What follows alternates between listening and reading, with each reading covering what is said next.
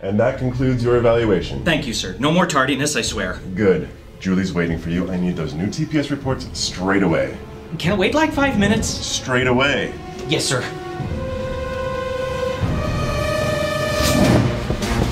Oh, I'm glad I caught you. Could you give that to Chris and that and yeah, don't worry about that. And could you do that? I Like that. Stop the clock. 66 seconds to achieve your goal. Time is dwindling. You've spent weeks, even months preparing for this exact moment.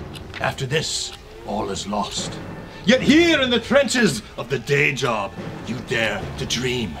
Dream of beating the clock.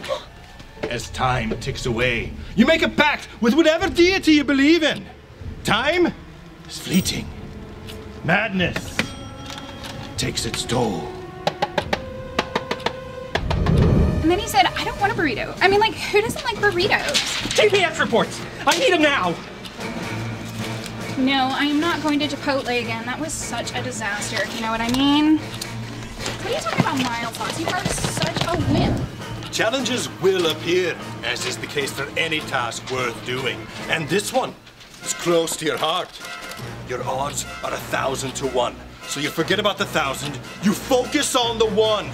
Don't waste this chance. Make it happen. The clock has stopped.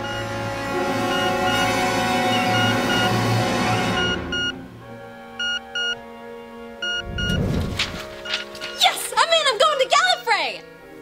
Did did you get your tickets?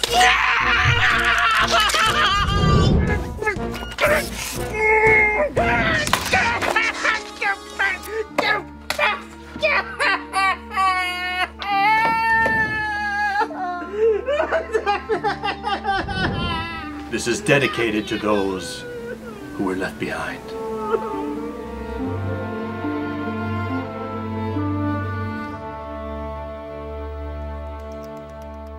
By the way, you'll be doing this all over again in two months for hotel reservations.